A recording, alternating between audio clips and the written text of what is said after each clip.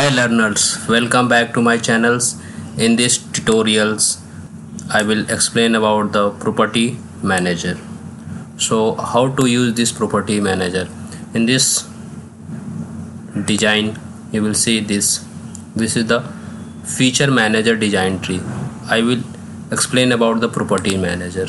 So how can use this properties manager? If you can click this execute part cut extrude and then go through the hair. And there are the many features here. First like ok button. Then this is the cancel button. And then this is the details preview. And this icon will be shown on the open and close icon this way.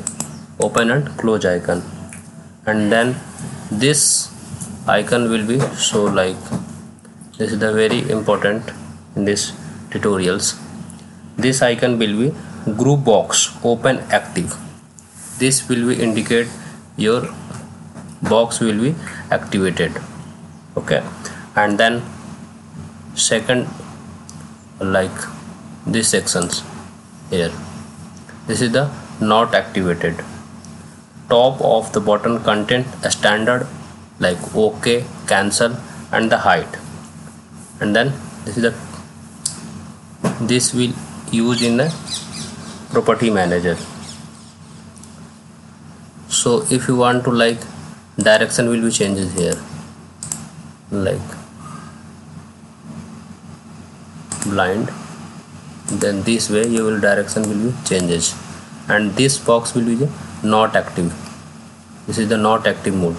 If in this is the active mode then apply this both side. So in these tutorials very very important how to use the property manager. This this is the all about the property manager. Then you will change this way. Like if you click it then active this way. Angle will be draft angle will be applied. Okay. So this is the active. This is the unactive mode. If you clicking this is the active mode. And then you will apply. Okay. Flip both side. So this way you will use the property manager. Thanks for watching. Please subscribe my channel for more videos